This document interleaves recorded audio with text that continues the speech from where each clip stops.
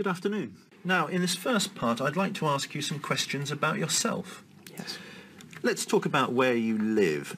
Uh, what do you like most about your hometown? Well, actually, I come from a very small town with uh, around uh, 5,000 inhabitants. It's more or less 50 kilometers from Como, which is the, the, most, the main town.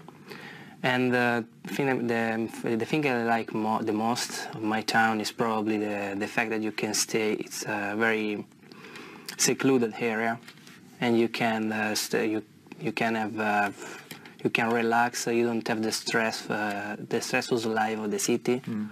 And uh, is your hometown a, a popular place for tourists to visit? Yeah, there are many tourists, especially in the summer, that flo flocking to my to my town and near town in Switzerland too, uh, for for holiday, for a week, for a month, especially from Germany, France. And has your hometown changed much in recent years?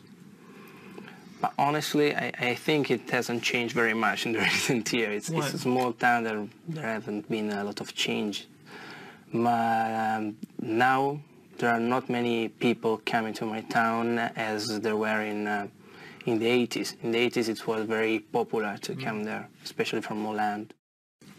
Now I'm going to give you a topic and I'd like you to talk about it for one to two minutes. Yeah. Before you talk, you'll have one minute to think about what you're going to say and you can make some notes if you wish. Mm-hmm. Do you mm-hmm. understand? Yeah. Okay, so here's some paper and a, a pen for making notes. And here's your topic. Please don't write on the, anything on the booklet. Yes. I'd like you to describe a time when you helped someone. Yes.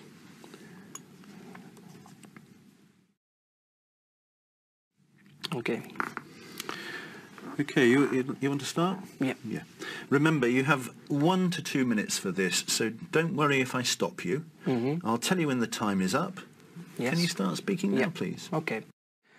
The moment um, I remember I helped somebody was friend of mine. He was a friend of mine. To, he wanted, he is completely in love with a girl that is now his girlfriend. And I helped him to conquer his girlfriend, his girlfriend, because he's a very shy person and uh, introverted. He's not very self-confident at all, absolutely. And so I, I gave him some advice to, um, to, to try to conquer, let's say and uh, I helped me. I, I told him to take her out for a dinner. It's a very simple thing, but sometimes it's difficult for some people to understand it. And uh, the the result was that uh, she was expecting him to, to ask her to ask her to go out, and so they they had a beautiful uh, beautiful uh, evening together, and they are now they are now they are now a couple, let's say and uh, and I, I, felt really useful in this moment and uh, helpful. I'm uh, I'm happy to have the chance to uh, help a friend of mine because uh, on the other hand he helped me in many stage and many moments of my life and then thanks to this moment now we are very very good friends and um, I think that's all. We've been talking about a, a, time when you helped someone, and I'd like to discuss with you one or two more general questions related to this. Let's consider, first of all, helping neighbours. Can you tell me some of the practical things that people can do to help their neighbours?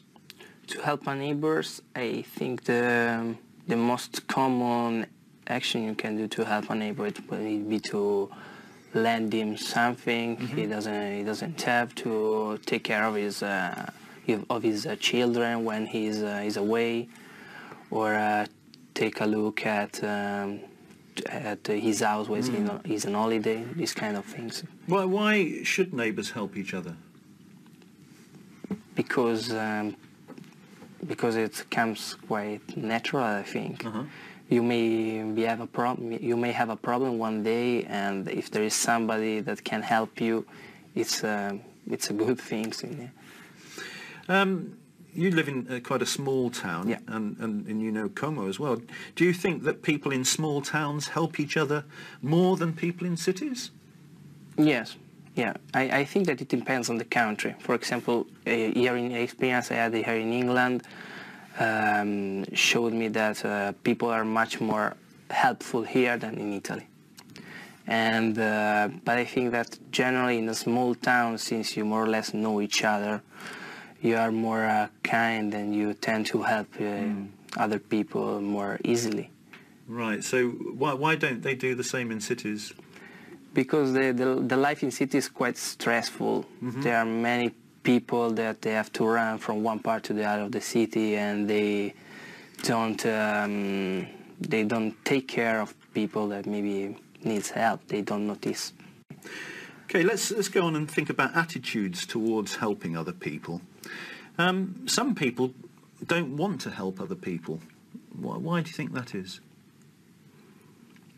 I honestly I don't know, but uh, I think that um, the main attitude is help. Yeah.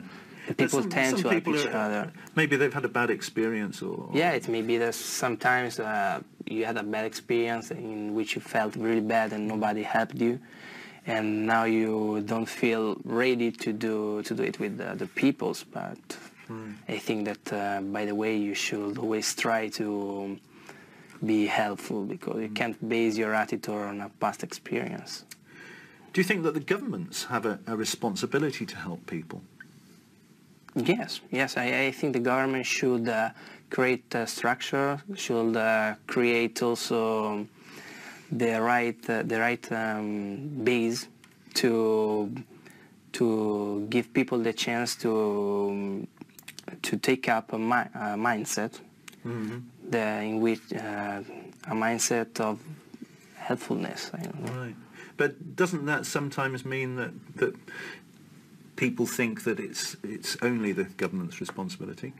No, it's not only government responsibility. First of all, is a personal responsibility. I think that everyone should be should help each other first of all. Then the government can create a structure and then create the can act in a right way to allow people to be helpful and to help each other. But I think that mainly it's a, a feature of a person. So, Emanuele, do, do you think that some people deserve help more than others? No, I don't. I think everybody uh, deserves the, the same amount of help from other peoples, but sometimes I understand that uh, it's difficult to help some people. First of all, people that be, doesn't be don't behave in a in a right way or that made you suffer, suffer in uh during your life, or um, or we or with people you had a bad experience with. But in general, I think that everybody should have the same uh, the same amount of help. Okay, let's let's go on and think about attitudes towards helping other people. Um, some people don't want to help other people. Why, why do you think that is? I don't know, I honestly I don't know, but uh, I think that um, the main attitude is help. Yeah. The people Some- tend some to help people each are- other. Maybe they've had a bad experience, or Yeah, it may be that sometimes uh, you had a bad experience in which you felt really bad and nobody helped you, and now you don't feel ready to do to do it with the, the peoples. But I think that uh, by the way, you should always try to be helpful because you can't base your attitude on a past experience. Thank you very much. That is the end of the speaking test. Thanks.